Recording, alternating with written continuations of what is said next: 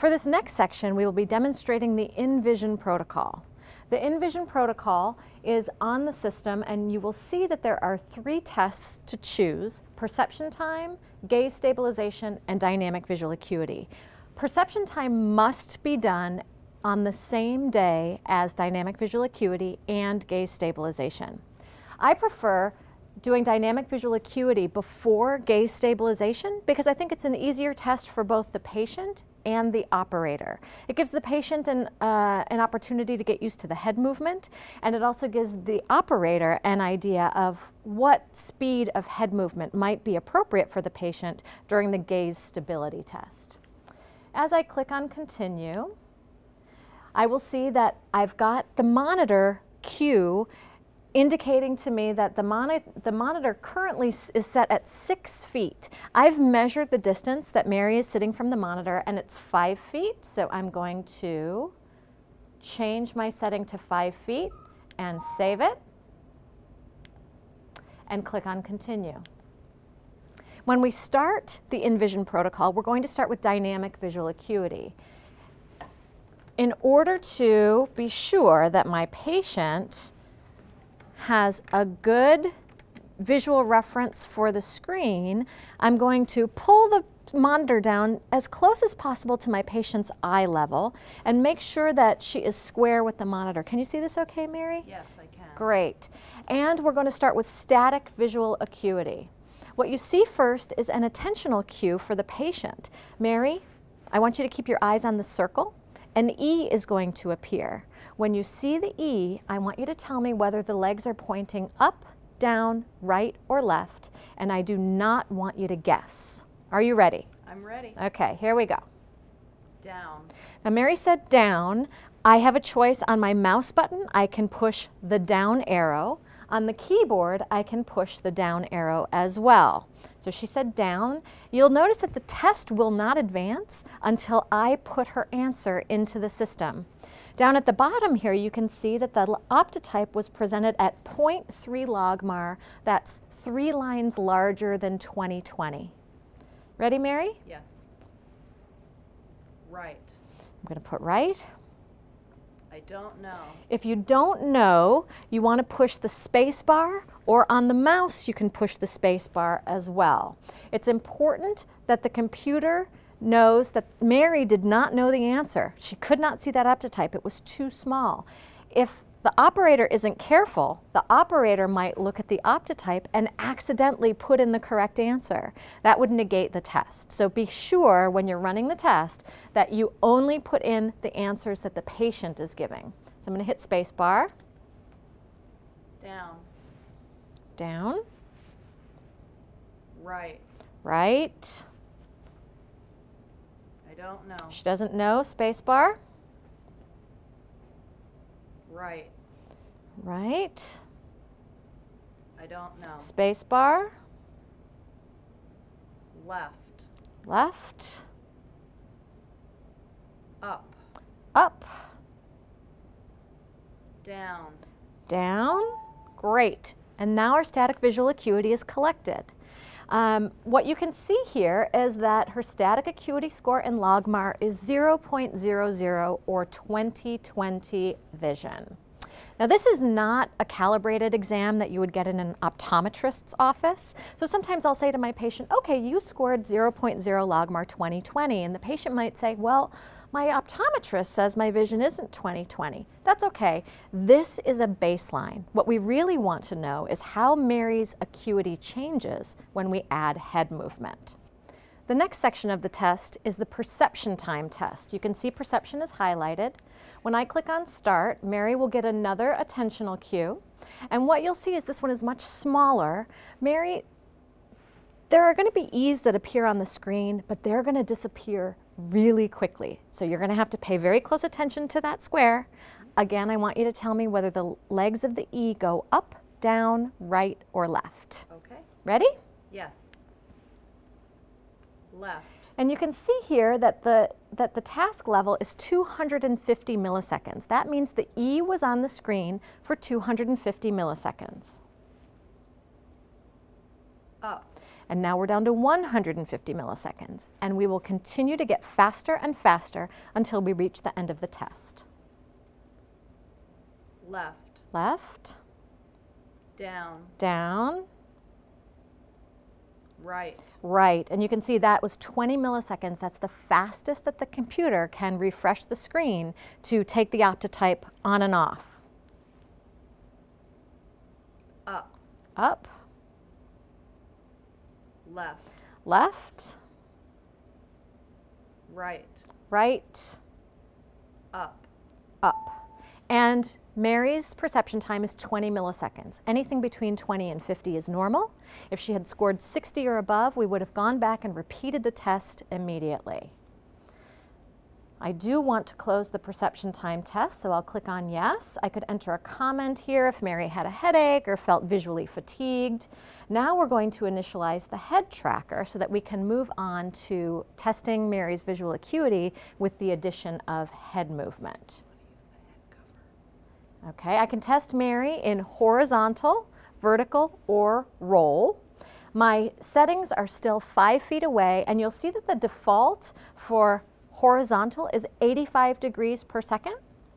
You can adjust this if you're working with a very high level population of athletes, you can increase this to 100 degrees per second. Now we are going to practice the dynamic visual acuity test. So first, I'm going to put on the head tracker. In your clinic, you probably use a, um, a, a cover for the head trackers for making sure that in between patients, the patient is getting a clean head tracker. We're going to stick with the practice screen and I'm going to click on start and I'm going to tell Mary that Mary, while we're doing the dynamic visual acuity, I want you to turn your head while you're looking at the screen. And it's a little bit tricky, so we're going to practice first, okay? Okay. All right, so this is our practice. We're going to practice the head movement. And the purple dot is showing Mary's head position. Now, Mary, what I'd like you to do is turn your head to the right until the dot hits the, good, perfect, and to the left. That's the amplitude. Is that a comfortable head movement for you? Yes. Great. Now at the bottom here, you see this gray bar moving back and forth? I'd like you to move your head a little bit more quickly so that bar turns green. Perfect. Stop. Now Mary is a very good patient. She understands the amplitude, she understands the speed. We're going to now practice the dynamic visual acuity piece of practice. I want to practice DVA. Now, Mary, when I click on this, don't turn your head quite yet, okay? Hold it steady. So, Mary, now you see that there's a circle on the screen. When you start turning your head and you get it up to the appropriate speed, an E is going to appear in that circle. So, you're going to have to keep your head moving and look for the E at the same time and tell me whether the legs are going up, down, right, or left. Okay. Are you ready? Yes. All right, here we go. Great. Now, what you'll see here is this bar is red. What that means is that Mary was moving her head too quickly. She was moving it beyond that 85 to 120 degree threshold. Um, so we want to make sure that she understands a little bit slower next time, okay, Mary? A little bit slower. Left. Wow, and that was perfect. You see that the bar is now green. She understands the head movement, she understands the task. I am going to exit practice mode. It's really important that you that you see here on the side of the screen it says practice mode. Um, if you forget that you're in practice mode, you can spend a lot of time here and be very frustrated by the end of that time. So, do you want to continue practice? No, I actually want to do dynamic visual acuity. Mary, we're going to start the test now. Okay. Okay? When you start turning your head, that optotype will appear. Down. Great. Now I want you to stop your head moving between each trial because I don't want Mary to get dizzy or uncomfortable during the test. She said down, Left. left, Down. down, Right. Right. Now you can see here she was a little fast. That one was um, 145 degrees. You can slow down just a hair. And you can see that she's now at point 0.1 logmar. She's one line bigger than her static visual acuity of 2020 or 0.0 logmar. You ready? Okay. I don't know. Space bar for I don't know. I don't know. Space bar for I don't know. Right. Great. Now, what I'm going to do is take a little break with you, Mary, and make sure you're okay. It's important to check in with your patient, make sure she's not feeling dizzy or sick. How are you feeling? I'm fine. Good. Sometimes what you'll notice when you're working with the head tracker is the little purple ball might get off center for a trial or two. Don't worry about that. The tracker will recalibrate itself as you go. So just keep working and the, the, that purple dot will end up back in the middle of the screen probably on your next trial. Okay, are you ready? I'm ready. Here we go. Left. Left. I don't know. She doesn't know. Space bar. Left. Left. I don't know. Space bar for I don't know. I don't know. And you'll notice that I'm not looking at the answers. I only care about what Mary tells me, but what I do care about is these last couple she didn't get right and they're red. She could be moving a little bit too quickly. So I'm going to say, Mary, slow your head down just a little bit. I don't want to have any false positive results where she got the answer wrong because she was just moving too quickly. Okay, you ready? Ready. Here we go. Right. Right, Up. up, Down. down, I don't know. space bar, Right. right, and you're green, so you're doing great. Your velocity is spot on, Mary. Don't know. Don't know, space bar. Great. Now we're done with dynamic visual acuity and what we see here is our DVA loss graph, which tells us that when she sweeps her head to the left, she lost one line or 0.1 logmar. When she sweeps to the right, she lost 0.03 or a third of a line. And so those results are normal. She, anything of 0.2 logmar or less loss or a two line or less loss is normal. Do I want to close this test? Yes, I could put in comments. And now we are going to the gaze stabilization test. Again, I'm at five feet. I'm going to test her in the horizontal. And we are going to practice because this test, as Mary goes through the test, the computer is going to demand either a faster or slower head speed. And it's going to take her a little bit of time to understand that. So we're going to practice. We're just going to practice the head movement first. Now, Mary, when we first get into practice, you can see that our, our setting for practice is at 70 degrees per second. I can adjust that faster up to 110. I can adjust it slower. We've just been doing 85 to 120, so she should be pretty comfortable at this speed. Okay, we'll practice once. You ready, Mary? Ready. Okay, go ahead and start your head moving. Look for the E. Oh, great. Actually, stop. So the E's not appearing because I just was having her in the head movement practice.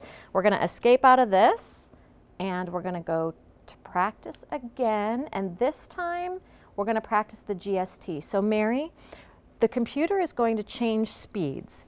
The- speed's either going to get faster or slower. I'll try to cue you on whether it's faster or slower, okay? We're about we're going to practice a little bit of the GST, the full test. We're about the same speed where we were for DVA. Do you remember what that speed was? Yes. Okay. So go ahead and start. Up. Great. Now we're going to go a little faster this time. Left. Good. Okay, do you understand? We're going to be adjusting our speed. Great. I'm going to get out of practice. I don't want to continue practice. I'd like to do the GST. So, Mary, just try to listen for my cues. I'll try to give you faster or slower um, as we go through. All Okay. right? All right, go ahead and start. We're about the same speed as DVA. Down.